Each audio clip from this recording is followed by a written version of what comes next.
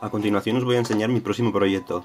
Se trata de un mando de SNES, de Super Nintendo, modificado para que funcione por Bluetooth y se conecte al móvil, al tablet, al ordenador, a cualquier dispositivo para permitirnos jugar a juegos. Entonces ahora esta es la versión, es un prototipo, de hecho no tiene el botón izquierdo, el, gatillo izquierdo. Y, y eso, os voy a enseñar cómo funciona. En la aplicación, en este caso es un emulador de, Super, de Game Boy, tienes en Settings la opción de Input, Key Mapping, y aquí puedes elegir las teclas eh, correspondientes al mando. Si le doy a Up, pregunta cuál quieres elegir, le doy arriba y la recoge. Lo mismo pasa con Start, por ejemplo, que le doy a Start y la recoge. Entonces así con todas. Y una vez configurado, te permite jugar pues cómodamente.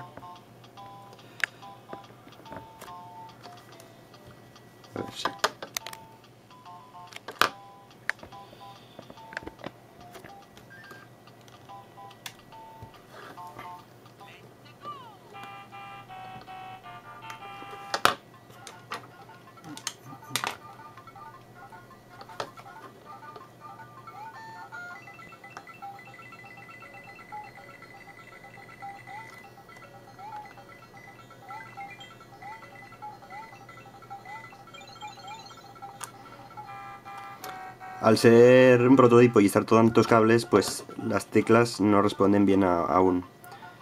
Pero tengo previsto diseñar una placa a medida con el módulo Bluetooth, la batería de litio, el conector micro USB para cargar la batería, todo dentro del mando. La versión prototipo es un lío por dentro ahora porque, como digo, están todos los cables sueltos.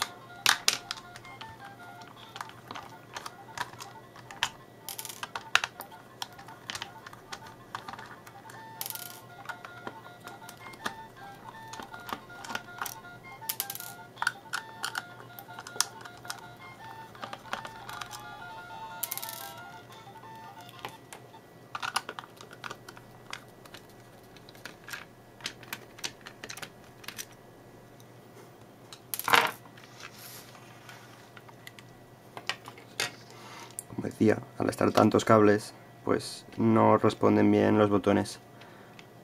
Pero también digo que es un prototipo. Tengo, estoy diseñando actualmente la, lo que sería placa base. Esto es una transparencia que encajaría a la perfección en lo que es la carcasa del mando. Del mando. En este caso es un mando, un clónico, una copia, no es un mando original, pero no debería haber problema en, en meterlo en el original porque tengo, tengo en cuenta eso. Entonces esto va así. No se llega a ver. A ver.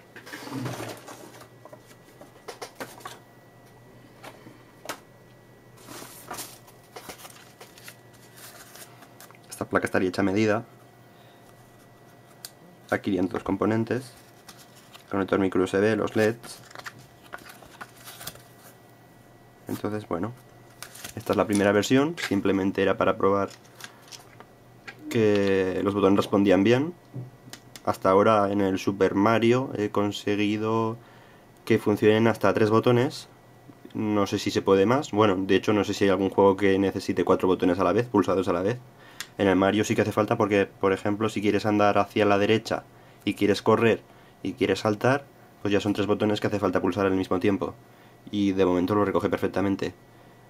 No sé si habrá un juego que use 4, si encuentro alguno lo probaré. Entonces de momento esta es la versión inicial. Ahora hay que crear el terminal de circuito, mandarlo a fabricar a China, soldar los componentes y ya lo empezaría a distribuir. No sé si habrá alguien interesado. Mi idea es esa, eh, montar unos cuantos mandos y quedarme uno y los que sobren o, o si hay mucha gente interesada, pues encargar más. Fabricar más, de hecho, bueno. Más que encargar sería fabricarlos, porque los haría yo a mano desde cero.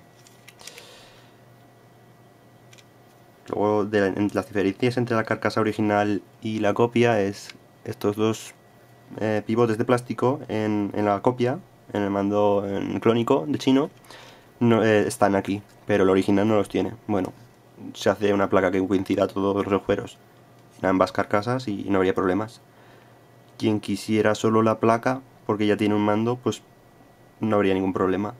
Y quien quisiera el mando completo, pues, pues perfecto también.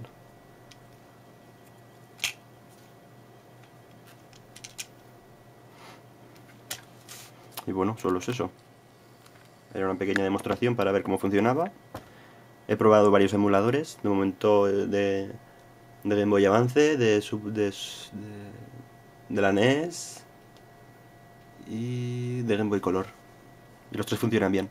Siempre y cuando el programa a usar eh, permita mapear, o sea, configurar las teclas eh, del mando respecto a las del juego, no hay ningún problema.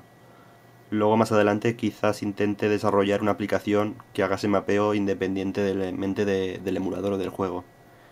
Pero por el momento todos los juegos que permitan configurar las teclas con este mando deberían de ir. Y eso es todo. Ya os mantendré informados.